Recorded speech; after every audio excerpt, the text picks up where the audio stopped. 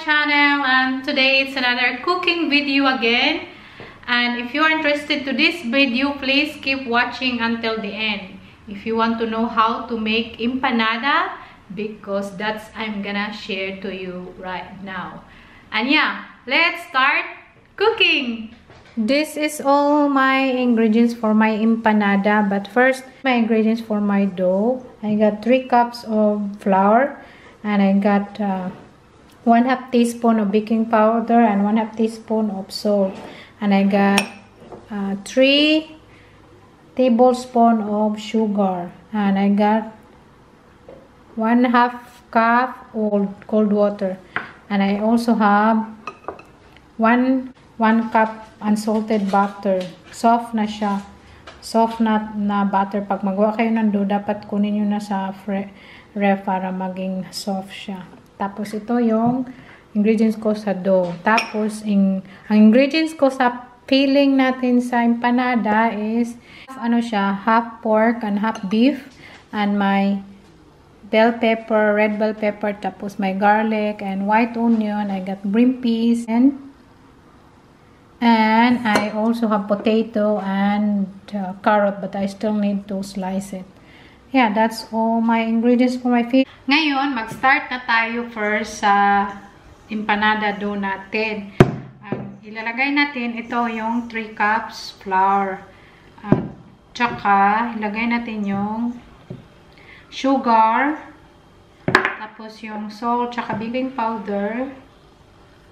Lagay na natin yung lahat mga dry ingredients. Tapos yung 1 cup na unsalted butter na soft na siya. First, i-mix muna natin siya. Kinamay ko yung, ano, may butter na, nilagay ko na, tapos i-mix mo lang siya. Naglams-lams na, ano. Tapos, ilagay ko na yung 1 half cup na cold water. Tingnan. Basa na siya. Tapos, lagyan mo siya ng kunting water. Lalagyan ko pa siya ng kunting water. Natin siya. Tapos, dapat may extra kayo na flour para sa dusting nyo. Para ma-mix talaga na siya. Hirap part, no? may ano ako, uh, electric mixer, pero hindi ko ginamit. Ito na lang mas mab... Kung sa tingin nyo parang matigas pa, eh, ano siya, kanang wisik-wisik, ano ba yan? Wisik-wisik sa taga. Wisik-wisik ka ng water na kunti para lumambot. Magawa ng dough, ilagay natin siya sa ref, mga 20 minutes. Macho na ako dito. Siguro mga ano, 5 minutes mo siguro siyang eh, 2 or 3, 3 to 5 minutes mo siyang imasamasahin. Hanggang sa makita mo na na mix na talaga siya lahat. Parang lumambot na siya. Okay na. Tingnan nyo. Tingnan yung texture niya.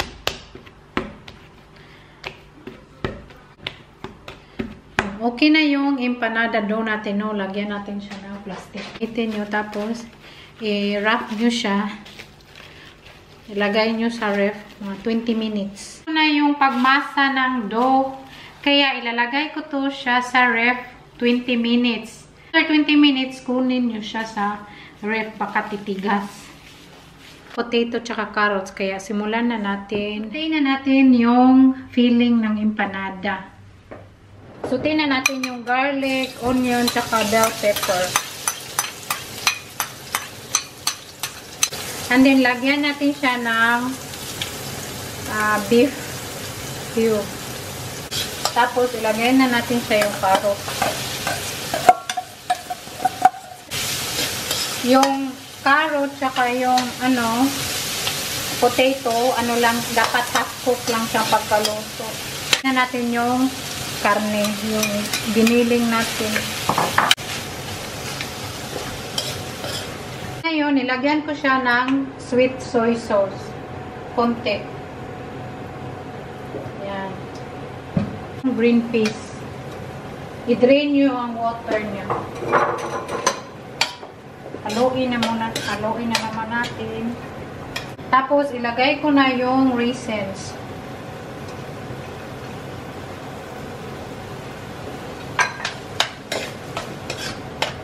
Kung gusto nyo madaming raisins, okay lang.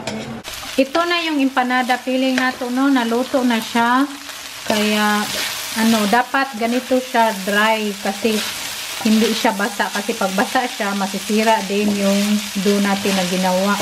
Ito na yung dough after 20 minutes. Kinuha ko na. Soft na siya, oh.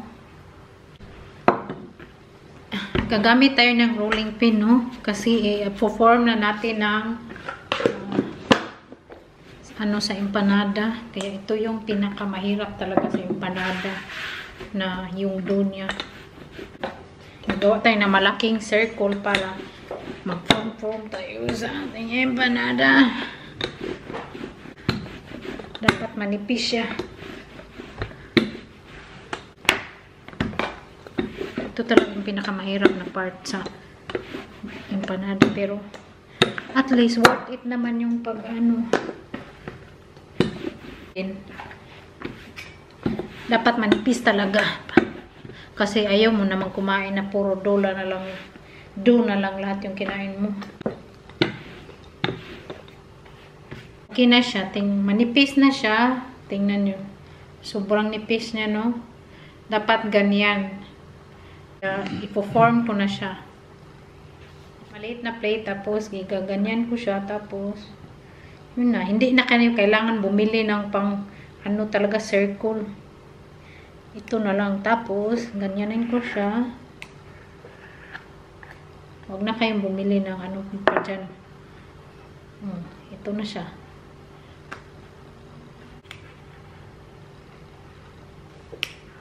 Nasa ibang lugar kayo kasi walang tindang empanada, di trabahoin nyo talaga. Kagaya ko ba? Kung gustong kumain ng ganyan,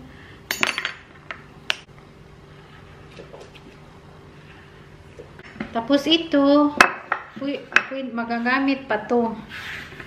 Magagamit pa to. Ang nagawa ko nito ay isa. So, ito na. Ilalagay na natin yung filling. Mamaya ko na tapusin yung isa kasi pag eh, mahaba na yung video natin. Filling ko sa empanada.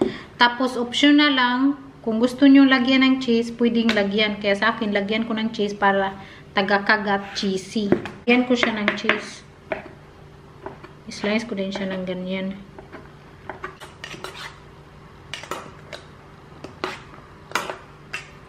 Halo na siya, no? Yung cheese. Kaya ilagay, maglagay na tayo ng sa ating empanada, ating filling. Ito, ganito na siya. Pwede nyo siyang palakihin to kung gusto nyo, ganyanin nyo.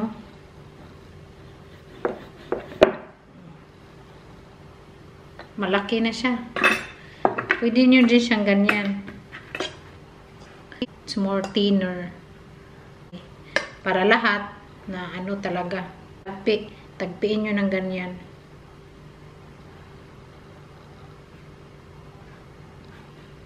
Tingnan nyo, empanada na siya. Ganyan nyo. Itagpiin nyo lang ng ganyan. Dahil laging ganito nyo siya sa tinidor.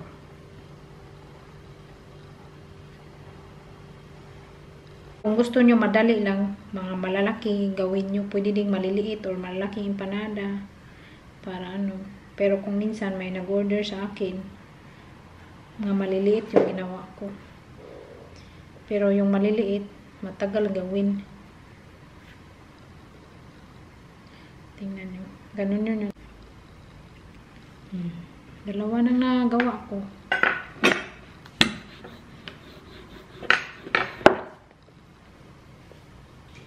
Ganito na siya, di ba?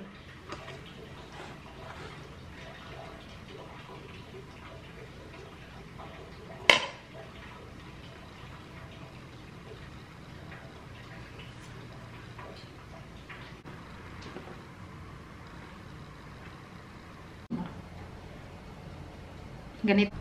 Kung iluluto niyo sa oven yung empanada nyo, dapat i-preheat nyo yung oven nyo na 190 degrees Celsius. At hit ko na yung oven ko. Tapos, iluluto ko na yung iba na natapos ko. At, uh, lutuin nyo siya around 20 to 20 to 30 minutes hanggang mag-golden brown siya. Tapos, i-wash natin siya. Ipakita ko din sa inyo. Ito na yung empanada natin. Tingnan nyo. Kaya, i-wash na natin siya ng 20 to 30 minutes. I-set nyo yung oven nyo. Yung na, kanina, nilagay ko sa oven. Ito yung natira. Gumawa ko ng malaki ng empanada para sa darling ko. At ito, may tatlo ay apat pa. Inanon ko siya i-spread. Pwede mo rin siya ganyan. Pwede mo lang hindi aro, i-spread na lang. Kasi maano man siya, stretchy. Kaya ganyan. Nahulog.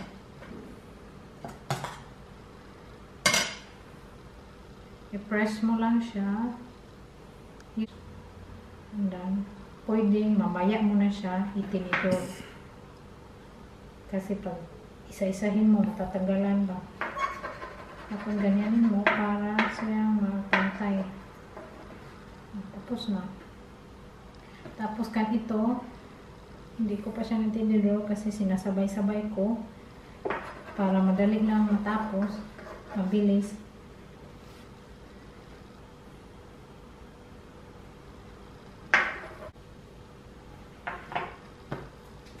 Kaya kung nang maluto yung empanada nakin, maghugas muna ako, no? Dami kong hugasin. Magluto dapat. Dami kong hugasin, no? Ika-chika muna tayo. Yung darling ko. Sabi niya, tutulong daw siya. Sabi ko, wag na lang kasi makabutin tayo bukas. Pero masarap yung empanada ko. Kaya i-try nyo yan sa bahay, yung empanada. Pero ma maganda talaga siya lutuin sa ubin, yung empanada. Kasi sa oil, pag hindi talaga na nasarado ng maayos, bubukas. Kaya mas mabuti sa ubin talaga lutuin. Kasi sa ubin, kahit hindi mo talaga na na na-close ng maayos yung empanada, hindi siya pang bubukas. Hindi yun bubukas. Gabi na dito, no? Yung kamay ko parang naano, nasa kahuhugat ba.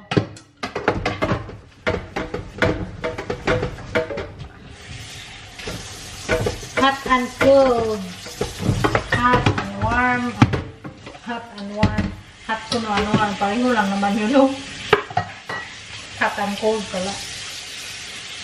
Nabuang naman ako sa mga salita ko. Minsan yung mga salita ko ba, pabalik-balik. Hindi ko, hindi ko mamalaya na pabalik-balik na pala yung salita ko. Malilimutin kasi ako. Kaya, pasensya na kayo. Malilimutin ako. Pero mabilis na lang ako maghugas. 1, 2, 3, tapos na. Okay. Naluto na yung empanada natin, no? Ganito yung itsura niya kasi niluto siya sa oven. Pag oil, medyo mas brown. Pero, ano siya, 30 minutes sa oven. Tapos, ano, 190 degrees Celsius yung init niya. Kaya, ayan na siya. Luto na. Empanada. Sobrang sarap niya. Kaya, gawin niyo to sa bahay, no? Masarap siyang pang Noche Buena. At yun, sana nag-enjoy kayo sa cooking natin today. And if you do, please like, share, and subscribe my YouTube channel if you haven't yet. And yeah, to see my next one. And God bless you everyone. Stay safe. And thank you so much for watching. Bye!